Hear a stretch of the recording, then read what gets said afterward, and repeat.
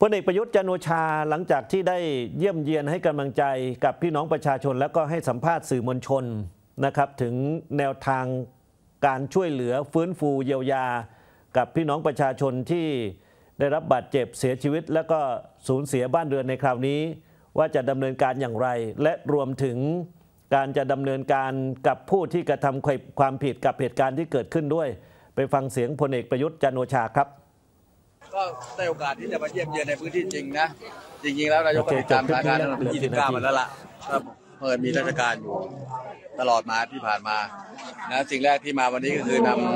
ำอะไรล่ะนำพระมหากรุณาธิคุณที่ว่าจุหัวทุนเจ้าพระบรมชินีได้ทรงพระราชทานมาให้กับพวกเราด้วยทั้งผู้ที่บาดเจ็บสูญเสียและทำนองเนี้นะท่านก็ดูแลทั้งหมดอะทรงดูแลทั้งหมด ท่านก็ทรงฝากความห่วงใยมากับผมด้วยนะอันนะประการแรก ประการที่สองก็จากการรายงานจากการที่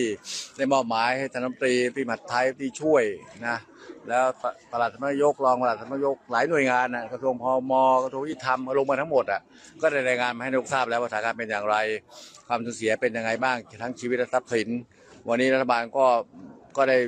อ่อเร่งตรวจสอบนะในส่วนของผู้ที่บาดเจ็บสูญเสียหรือความเสียหายเนี่ยในในพื้นที่ไปไปแล้วนะ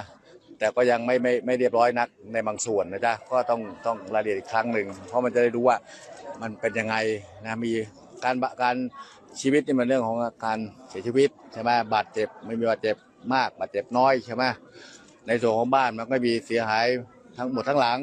เสียหาย70%เสียหาย30%มันมีกติกาหมดอยู่แล้ว ในส่วนของเงินตรงเนี้ยนายกก็ได้สั่งการไปแล้วให้เร่งสำรวจโดยเร็ว แล้วเร่งอนุมัติเงินตรงนี้เร็วเพราะเป็นเงินทดลองจ่ายอยู่แล้ว ใช่ไหมอันที่สองอยู่ในกับดูแลของอันนั้นคือนอกจากหมัดไทยแล้วกระทรวงด้วยกระทรวงที่เกี่ยวข้องเยอะอันนี้ก็มอบไปบ้างแล้ว อีกส่วนหนึ่งก็ที่นายกกำกับดูแลอยู่คือเงินกองทุนบริจาคใช่ไหมของรัฐบาลที่นายกเป็นคนที่เริ่มตรงนี้ไว้ ก็จะไปดูตรงนั้นเพิ่มมาอีกสมทบให้เลยจ้ะ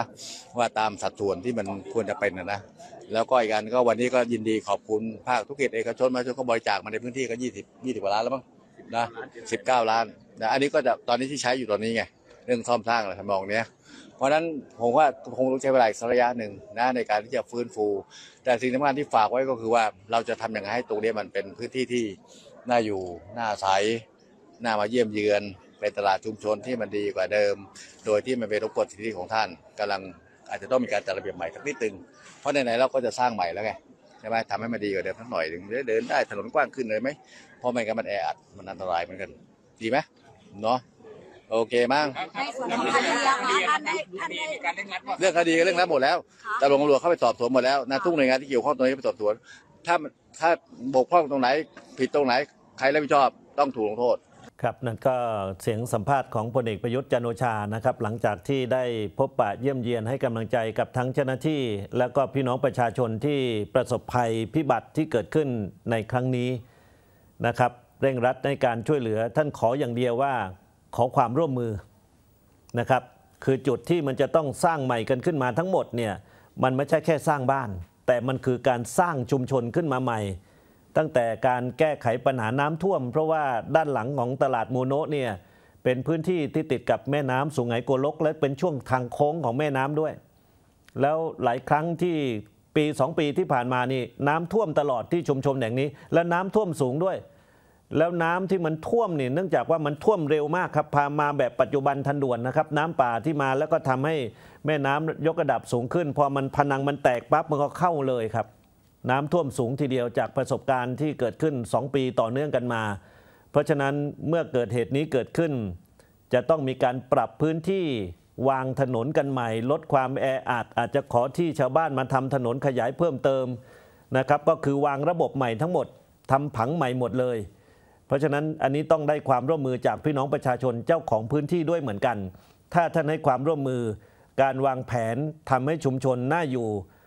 นะครับ แล้วก็กลับมาเหมือนเดิม แล้วก็ดีขึ้นกว่าเดิมเนี่ยอันนี้คือสิ่งที่เป็น